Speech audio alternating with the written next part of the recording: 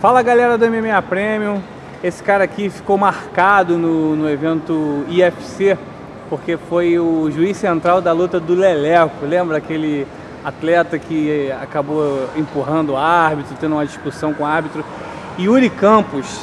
E aí, tudo bom, Yuri? Vai, vai ser árbitro na edição aqui do Coliseu em Arapiraca? Tudo bem, pessoal. É isso aí.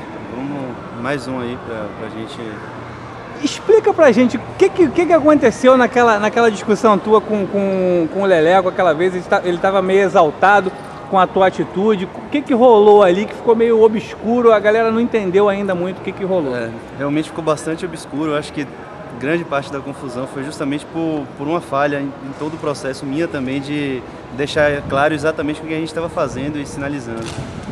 O que ocorreu foi que ele, ele cometeu de muitas faltas durante a luta, não faltas graves, mas segurou na, na grade várias vezes, ele acertou golpe legal, o dedo no olho, e isso eu vinha falando com ele durante a luta.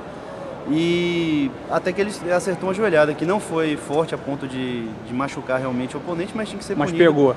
Porque pegou e porque principalmente porque ele já tinha feito várias outras, é, cometido outras infrações e eu já tinha advertido verbalmente. E aí no momento que eu tirei ele para tirar o ponto, o, o, adversário resolveu não voltar para a luta.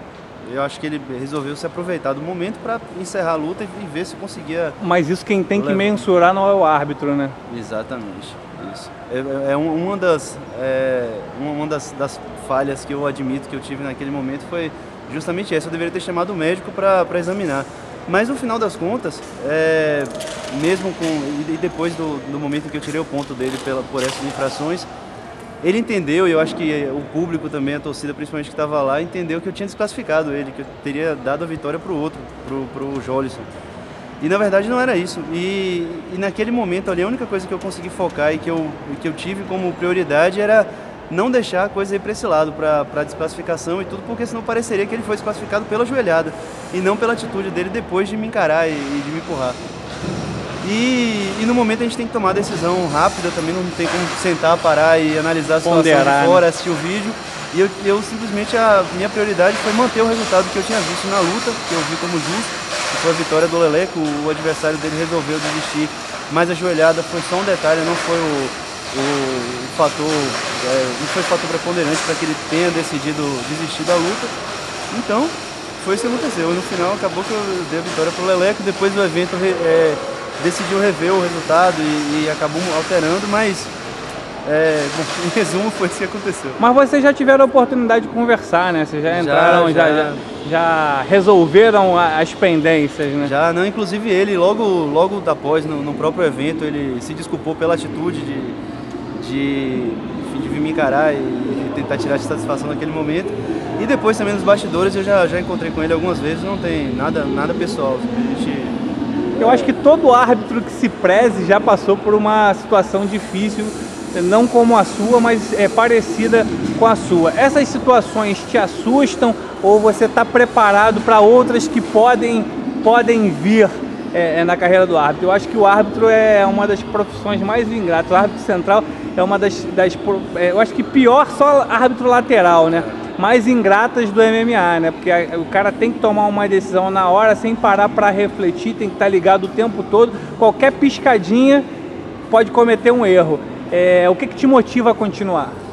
Bom, é, com relação a, a isso, eu, eu, eu, ensaio, assim, eu já eu fico imaginando as situações que podem ocorrer durante a luta. Também depois de anos e anos acompanhando o esporte, já, já assisti bastante coisa. Então já tenho mais ou menos uma, uma ideia do que, que eu, de como eu vou agir em cada situação, em cada tipo de situação, mas realmente aquela foi completamente inesperada. Eu tive que agir no momento e tomar decisão no momento. E não, não me assusto, não. não é, acho que faz parte mesmo. Se, é, inclusive o exemplo do Lele que foi muito bom porque ele passou um ano sem lutar. Depois disso, os eventos é, meio que de comum acordo até resolveram dar, dar essa punição para ele de um ano. Ele passou praticamente um ano sem lutar, justamente por causa daquela, daquela situação que ocorreu. E eu acho que, que a maioria dos lutadores, a imensa maioria, respeita bastante. Eles, inclusive, têm um compromisso pessoal de fazer uma luta limpa. E eu que estou vendo de bem próximo mesmo, são poucos atletas que ainda tentam colocar dedo no olho e, e bater na nuca, esse tipo de, de, de infração que é mais leve, que às vezes acaba passando despercebido. A maioria realmente luta dentro das regras e tenho um compromisso de fazer algo, de, de fazer o show da forma que tem que ser feito.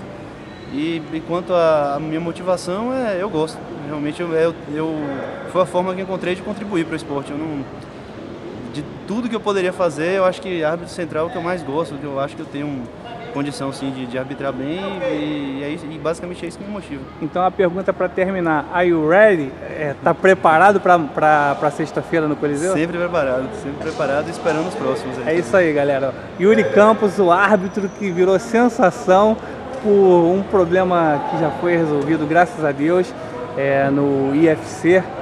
É, vai contribuir aqui com o Coliseu é, Extreme Fight, que é o, foi eleito o maior evento de MMA do ano de 2012, para você.